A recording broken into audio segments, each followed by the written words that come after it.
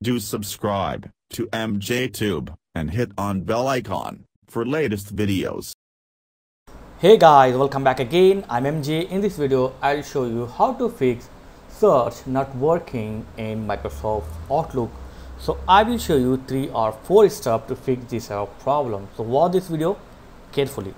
First, open your Outlook and here go to File, then go to Options and now click on Search. And then check on all mailboxes and also check on include messages from the deleted items. And after this click ok. Now try to search your mail in outlook. If it still not work again go to file and then options and then search. And this time click on indexing options. And here you need to add Microsoft Outlook. So click on modify and then check on Microsoft Outlook. Then click OK and OK. So this is the second method. And after this you need to restart your PC after restarting if you are still facing the problem then you need to remove the Outlook from indexing. For this uh, again go to start and here to type indexing options open the indexing option here. Click on modify.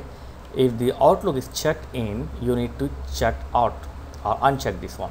So uncheck this one if still your outlook search not work.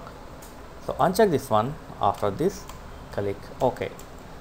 So i hope you are getting a, a uh, point. First you need to check on outlook and try to search. If it still not work then uncheck the outlook from indexing option. Okay? Okay next second option is you need to repair the microsoft office. For example go to control panel programs programs and future. Here select your office like this and click on change. Now select the quick repair okay? Check on quick repair and then select or click on repair. So you need to repair your ms office okay? So this is a third method if it will not work then go to start here and here type edit group policy. So open edit group policy.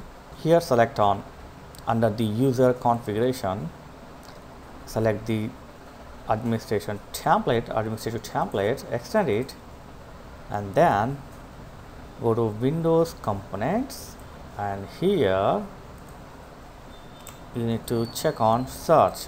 So click on search and here you will find some option.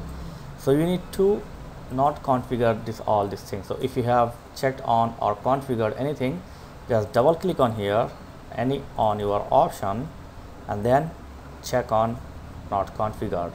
Check on not configured. So you must check on all these things not configured okay after this, restart your PC and try to search in Outlook. So hopefully this will fix your problem. So let me know in comment which option or which method is worked with you. So thanks for watching guys. Catch you in next video. Please like, share and subscribe. Thank you very much.